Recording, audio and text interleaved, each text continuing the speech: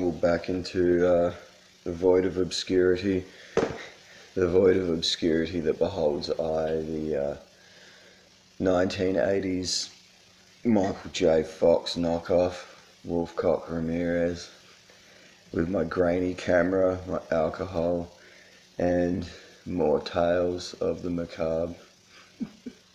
my God, oh, that just sounded so corny saying it like that. Anyways.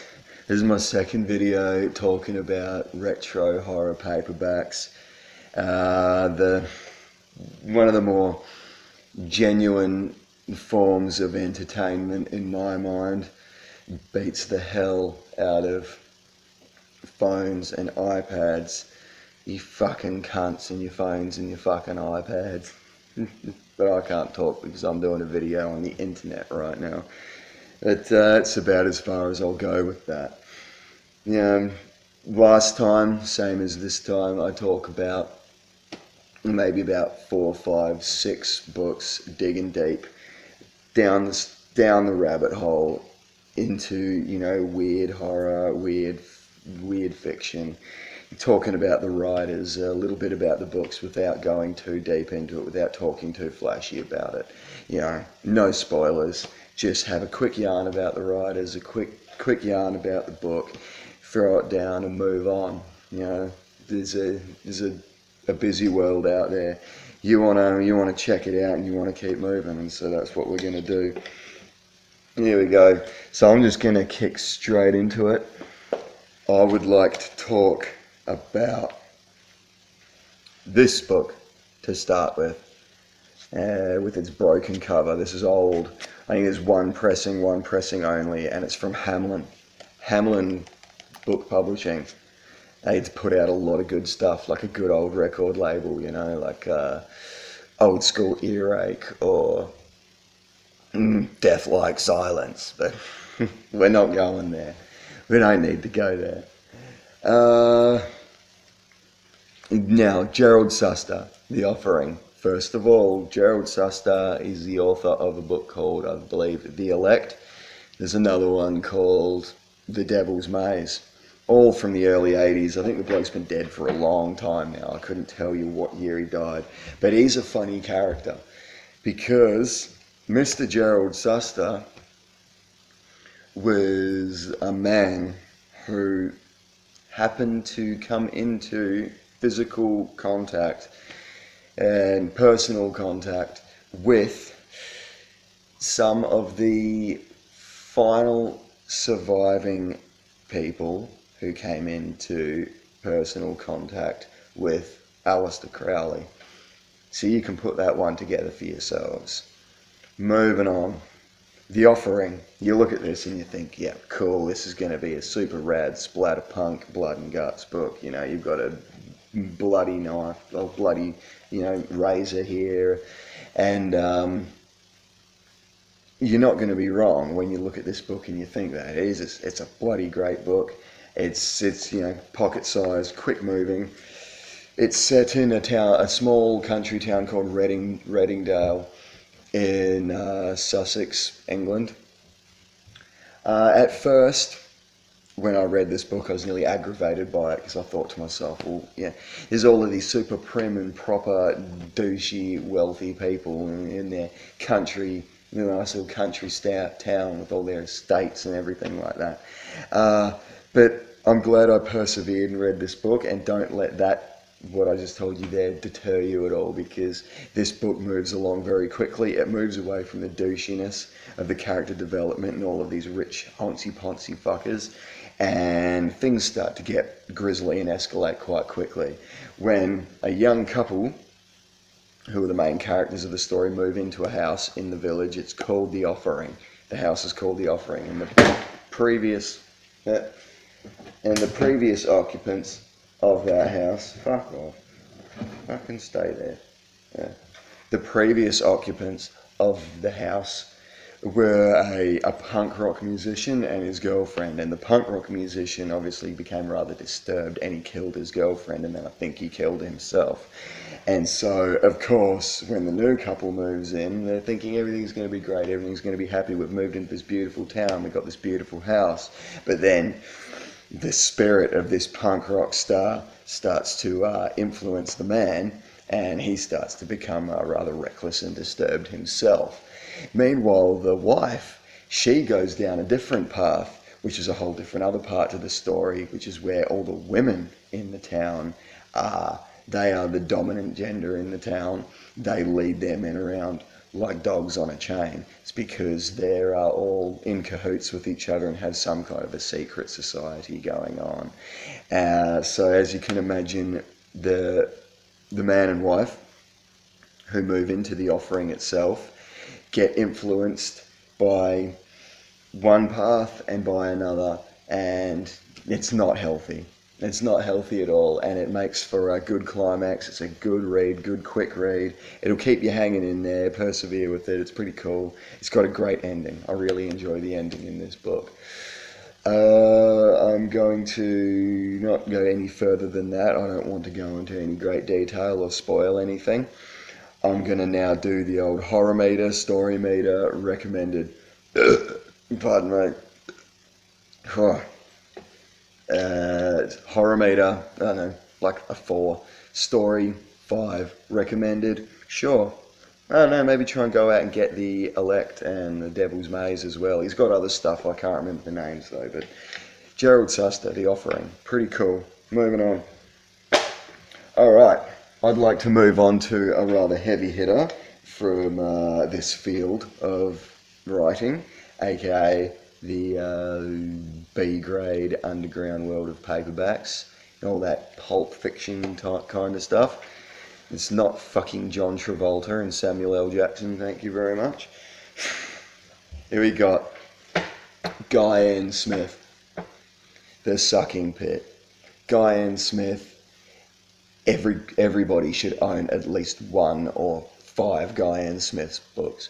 He's got that many of them out there. He's the he's just the master of straight cut to the chase, um, blood and guts, and you know perversion and just you know nothing nothing's watered down with Guy N. Smith. It's exactly what you want if you've got let's say you're a reader, you're an avid reader, you like to dig deep, but you can also maybe tend to not have a great deal of time on your hands, or you've got a goldfish brain, which I can happen to have sometimes myself. Uh, this book is awesome. It's one of the earliest of Guy N. Smith's. I think it's maybe 1975, 1976. He's best known for all his his chain of killer crabs stories. You know, you've got crab, uh, his Night of the Crabs, Killer Crabs, Crab Sacrifice, Crab Moon, uh, Crabs in My Pubic Hair, uh, and everything. Everything's a winner. Everything's a fucking winner this book is almost comical. It's great. It's just it, it is a very quick escalating book. I highly urge anybody if you come across this one to read it. It's a fucking relic. I'm very happy to have this old first. Uh, it's a, I think it's a new English library edition of this book. It's you know as you look at the color of those pages, it's the thing is becoming ancient. So I want to look after it. Uh, basically, what the story is, the long and short of it is, it's based in a town called Hopwas Wood, which I believe is actually a real place, and possibly, don't quote me on this, is maybe where Guy N. Smith was either born or spent time uh, in any maybe his childhood years or his early adult years or something like that. But uh, so it's set in Hopwas Wood, uh, of course, a small town full of you know delinquents and things like that. And there's this big community of dirty gypsies. Uh, and this this young woman, she comes to meet her uncle, who's a part of the community of dirty gypsies, finds him dead in his dilapidated old house, uh, finds his diary, and very quickly realizes that. Uh, you know, all the, him and all his gypsy friends are all into hocus pocus mischief, and so she starts reading and reading and reading all about this stuff, so intrigued by it, just sucked into the pages.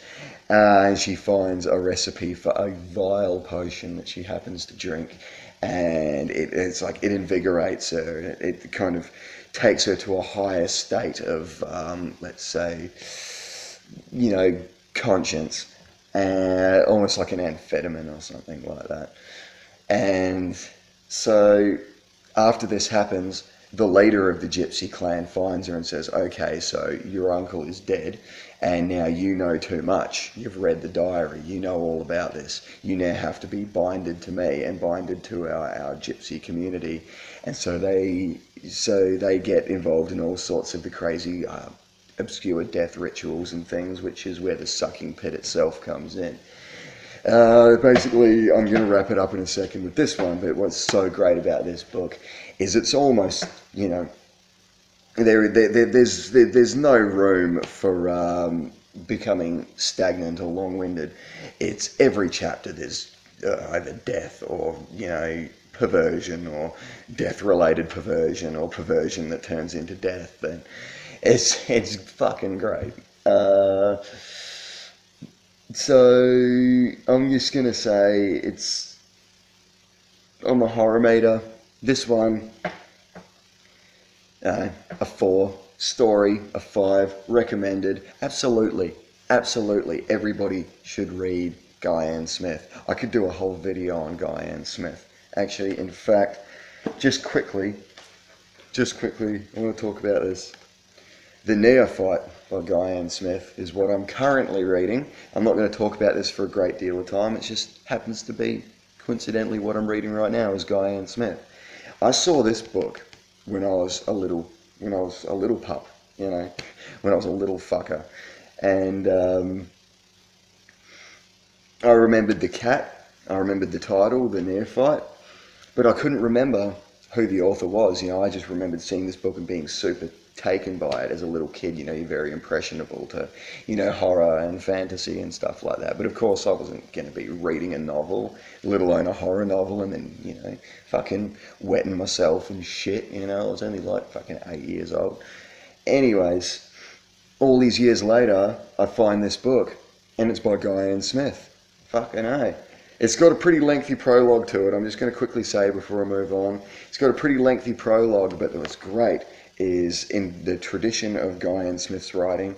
Uh, it yeah, it's very to the punch. A lot of really grimy stuff happens in this book, but obviously this one's a little bit more in depth. You know, there's a bit more going on in here, so I've still got a bit to read. But in the prologue, uh, a bloke, just to give you an example of what happens, a bloke he cheats on his wife. His wife is a witch, so she curses him. He goes to work the next day and he gets gored by a bull, specifically in the downstairs, gets his ball bags ripped open by a bullhorn. Oh, can you imagine that for a day in the office? Anyways, moving on. So, oh, I'm going to bring out a, uh, what I would like to call a juggernaut of a book right now, mainly to talk about the author himself. If you can see that on my shitty camera, William Peter Blatty, Legion. The man responsible for, in my opinion, the greatest story of all time, The Exorcist. That's just my opinion. It's my favourite movie ever. And uh, so, which ultimately means that the book is one of my favourite stories ever, and I'm happy I do have the book up here. Unfortunately, I don't think I have an original pressing. Uh, I've got maybe an early 80s pressing, but uh, that's okay because I've got to have it. Now, when I found out that there was a sequel to The Exorcist that was not related to The Heretic, which is the film sequel, which we're not talking about that monstrosity, that fucking mistake, should have been aborted. Uh, when I found out that there was an Exorcist sequel by Blatty and it was not related to The Heretic, but it also intertwined with The Exorcist itself, I nearly jumped out of my skin and I just thought to myself, fuck, I've got to get that book, I've got to read it. And here it is, it's Legion. So, this book, very different, very, very different to The Exorcist. It is, it's, it's not like they're trying to just recycle shit for marketing purposes. William Peter Blatty is definitely going down a different avenue in this. Uh, definitely really bringing out the intellect in this is um, it's it, it's all it all follows forensics. This is probably not really any news any news to anybody who's already well aware of this story. But um, it follows Lieutenant Kinderman, who's from the original Exorcist film, Exorcist film, pardon me, who uh, he likes films and theatre. Yeah, if that rejogs your memory from the original story. And you've also got Father Dyer in here, who was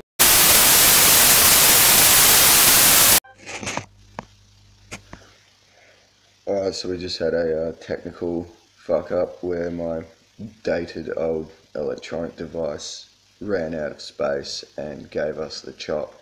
So I'm just gonna kick it off again and try and pick up where we left off. Uh, the joys of not having a fucking Samsung Galaxy or some shit. Anyways, we were talking about Legion. Uh, Legion, you've got Lieutenant Kinderman and Father Dyer, both from the original Exorcist film. And Father Dyer, I think I was saying, is was a good friend of Damien Karras, who was a part of performing the original exorcism on Regan and was threw him well he threw himself out the window and down the stairs and he died and this book pretty much just goes straight back on from this story in, back in Georgetown and uh, it's you know what I'm, I'm just going to go quick quick straight to it there there were points in this book where you've got Lieutenant Kinderman as the main character and his kind of inner ramblings uh, which was almost maybe strenuous to read at points. Uh, some very some very long-winded kind of sections to the story where it's as if he's pulling out, you know, his own kind of forms of poetry and things. But I think that in that case, that was uh, William Peter Blatty himself kind of throwing the poet within himself into the book which is really cool in ways. It's um, so the book is broken down into two parts. I'm just going to keep moving. The book was broken down into two parts, and part two, or the end of part one, and then into the beginning of part two of this story, is that's where all shit starts to hit the fan. And um, I'm, you know, a lot of people already know very well about this book. But uh, I'm personally, right now, I'm not actually going to speak about the story itself. Uh, we're just going to. I just wanted to pull it up because I love The Exorcist so much, and I did really enjoy this book, and I do really uh, have a lot of uh, respect, and I hold William Peter Blatty on a pedestal. Uh, excellent read, excellent, excellent read. I'm going to go straight to it. The horror meter on this is a for the book. Uh, there is a film of this. It was called The Exorcist Three. It came out in I think the early '90s, uh, which I think Blatty had a lot to do with, just like the original film. I think I don't I don't know if he, he directed it or just had a lot to do with the screenplay.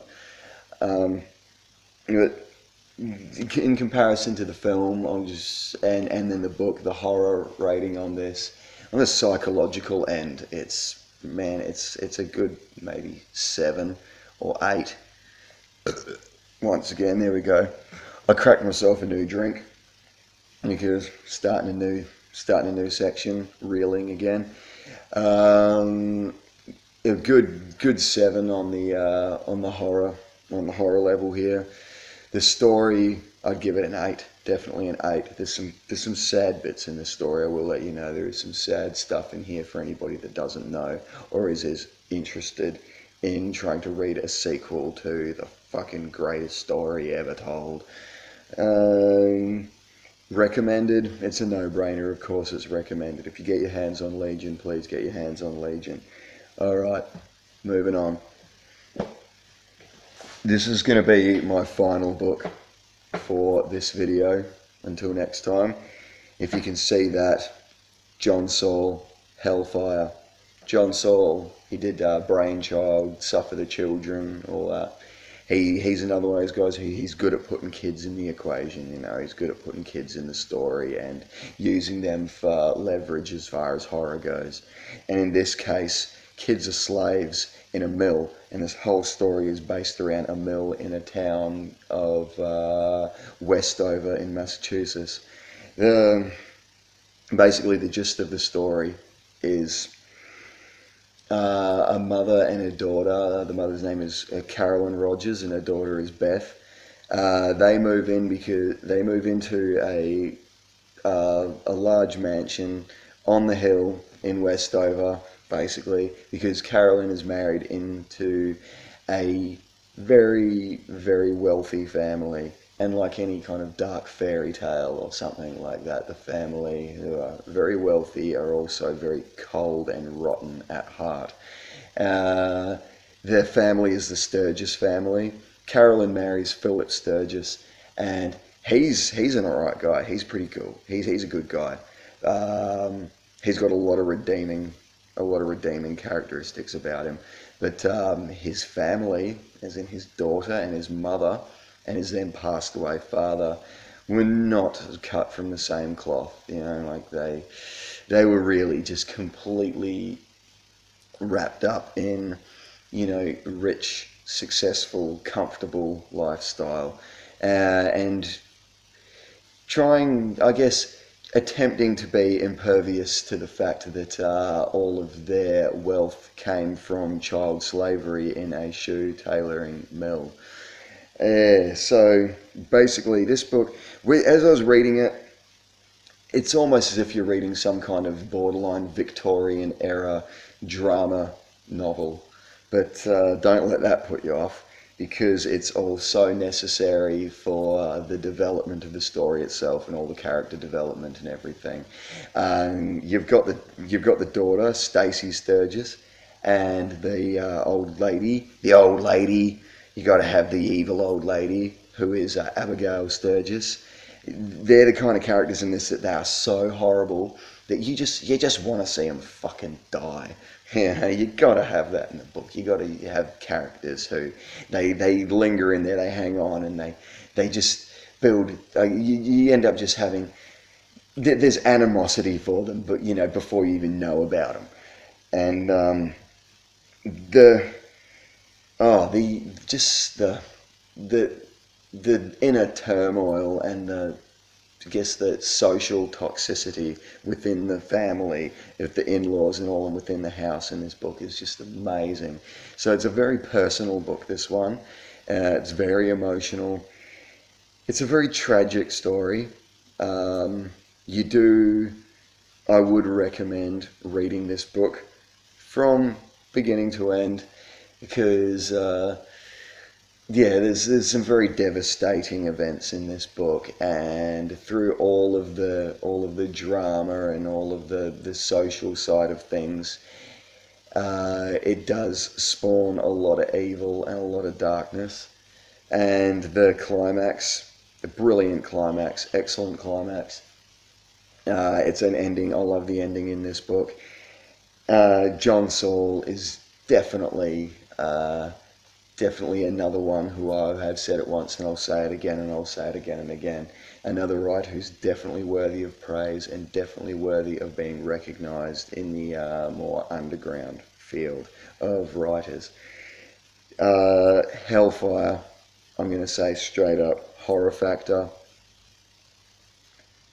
Hmm, horror factor. I'll give it a 7. The story, I'll give it an 8 I really enjoyed this one. There we go again. And recommended, absolutely. If you find Hellfire, pick it up. If you find Suffer the Children, pick it up. So on and so forth. John Saul, awesome. Alright, that's pretty much it. That's all of my ramblings for this evening. I'll see you again next time if you care. I'm not going to say click subscribe on my shit. You do what you want, you know. Just cheers for uh, dropping by.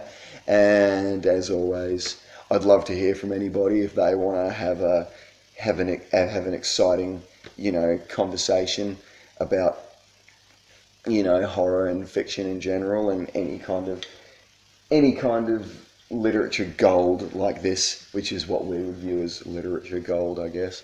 Um, I'll get back to you when I do. If you do want to message me, I usually drop off the radar from Civilization on a weekly basis and go out and I don't know, like hunt animals and eat them and shit, you know. no, whatever. Uh, but anyways, cheers for stopping by. Uh, let us know what you think about any of these books if you want, or flick us a message with some recommendations of anything to read. I might have it here, or I might be wanting to get it, or I might, you know, I may or may not be aware of something. But uh, it'd be good to connect with anybody, and uh, we'll see you next time. Cheers.